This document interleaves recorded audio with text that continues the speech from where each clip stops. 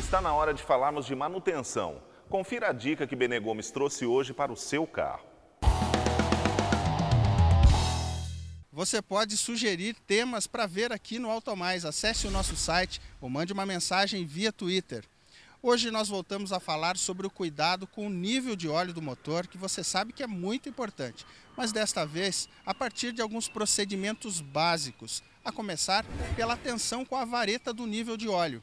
Essa matéria vai também para o Ernesto Silveira Pinto, lá de Itamogi, Minas Gerais.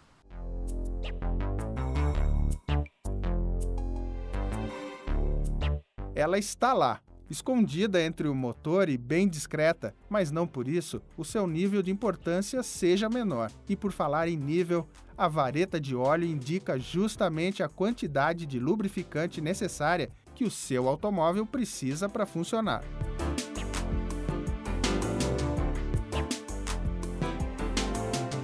Retirar uma vez, limpar o excesso com um pano, colocar de novo no reservatório e finalmente checar o óleo a vareta tem duas marcações importantes.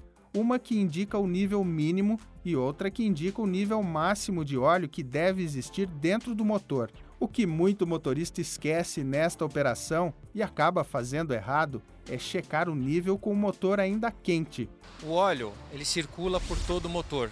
Ele leva aproximadamente 10 minutos para que com a ação da gravidade ele vá até o fundo do motor, que é onde fica o cárter, que é onde se mede efetivamente o nível do óleo através de uma vareta. Desta forma, a interpretação errada pode fazer com que se coloque mais óleo do que o recomendado, ultrapassando a marcação da vareta, o que pode trazer problemas. O excesso de lubrificante acima do recomendado na vareta também pode trazer alguns prejuízos ao motor, como encharcar as velas, vazamento ou até mesmo aumentar a temperatura do motor por um excesso de lubrificante. Portanto, nada mais justo com o seu automóvel do que levá-lo até uma oficina de confiança para fazer este serviço, que até pode parecer simples, mas reserva algumas manhas para ser executado da melhor forma possível.